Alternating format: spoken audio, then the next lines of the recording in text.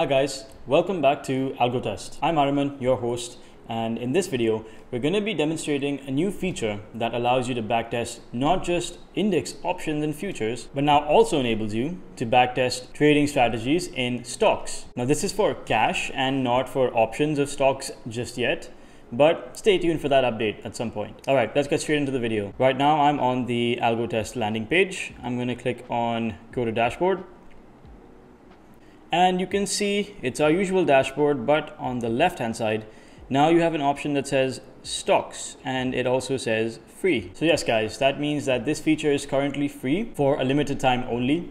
Therefore, if I were you, I'd make the most of it while it's free. Let's click on add new and get rid of this tab over here so as per usual, this is only a demonstration and we're just showing you how the feature works and we're not really recommending or expressing that this is a strategy that you should personally trade with your own money. Obviously, you must determine with your own thorough research if a particular strategy is tradable. Let's try this with Axis Bank. And let's say we're gonna buy our position quantity 1 candle intervals this can either be a 1 minute candle 3 minute candle 5 minute candle 15 minute candle or a one hour candle. For the time being, I'm just gonna use a one minute candle. Now let's add a trigger condition. Let's keep it simple.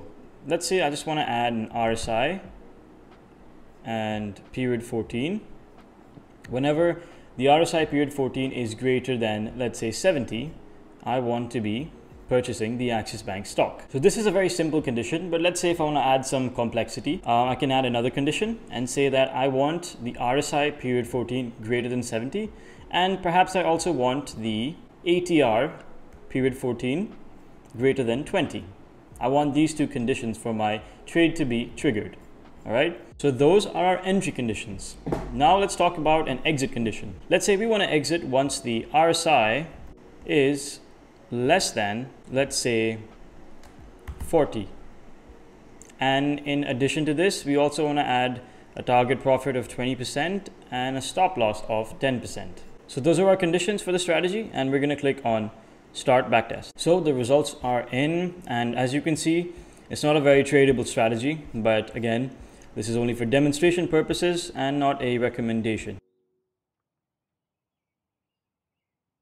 And the results page is also just the way you're accustomed to our typical index options and futures and options um, results page. So you'll be very comfortable. One more thing I'd like to mention over here, the entry when and the exit when options have a toggle switch, which says and and or.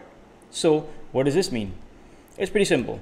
If we have two conditions or more, and we've selected and, this means that all of the conditions must be true before which a trade is triggered. So for the trade to be triggered, both or more of these conditions must be triggered. So the RSI 14 has to be greater than 70, and at the same time, the ATR 14 has to be greater than 20. Now, when I click on OR, this changes things. In this case, in this case, either of the two conditions or more conditions, if you want to input more conditions, must be true for the trade to be triggered. So that's it for this video guys. We hope you enjoy this feature and we hope you make really good use of it, especially while it's free. If you like this video, please like, share and subscribe to our channel for more future product updates and a lot more content. See you in the next one.